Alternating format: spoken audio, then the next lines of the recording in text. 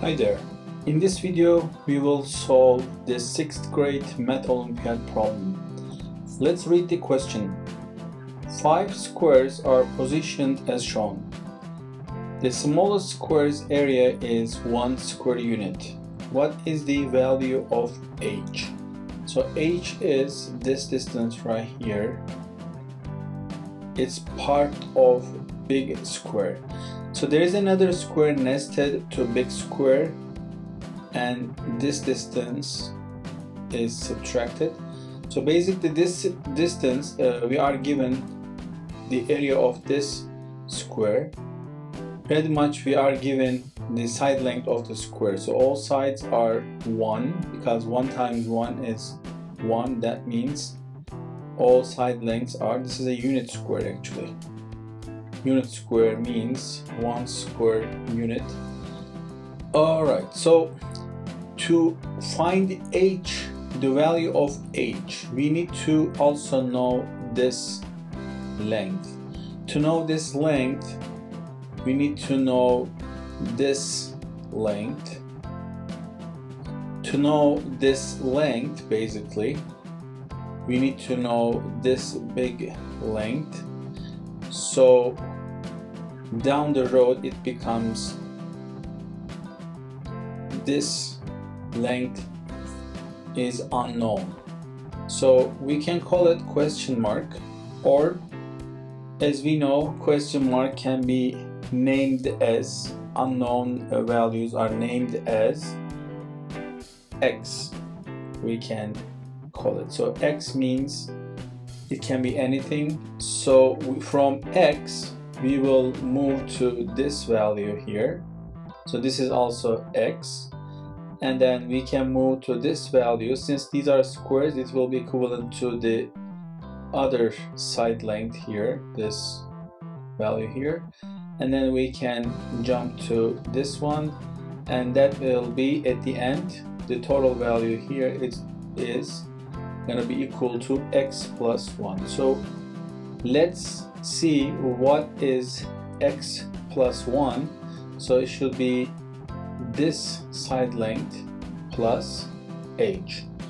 Let's get to there uh, and we will draw this uh, equation at the end.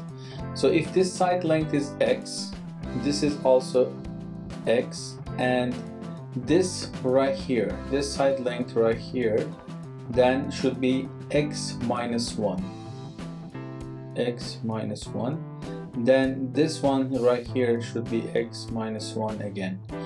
So we have 1 on this side this part of the side length of the square 3 at the corner is known so it's 1 so if I subtract one more I will get this side right here.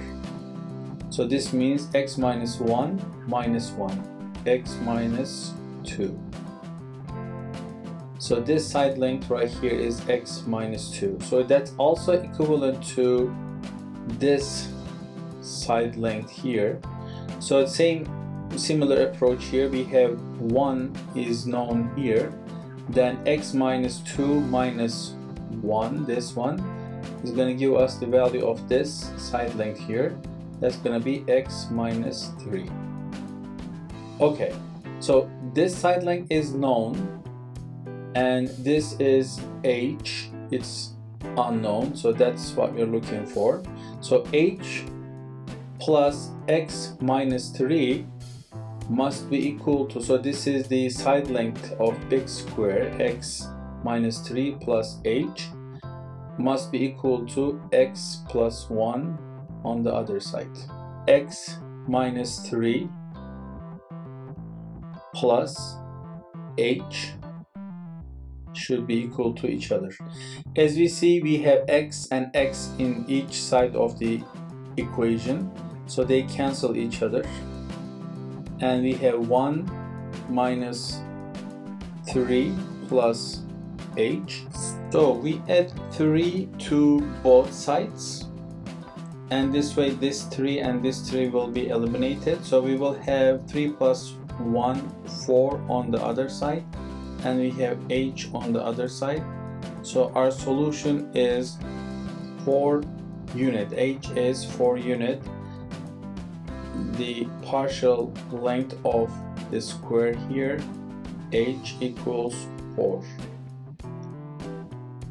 I hope you enjoyed this question and you like the solution. I hope it is helpful for you. If you like this solution, if you like this video, please hit the like button and don't forget to subscribe our channel to receive new uploaded videos in the future. You can turn the notifications on. If you have different approach you can share in the comment section so everyone can see it and we can have different approach and different perspective on the solution. I see you in the next video. You have a good one. Bye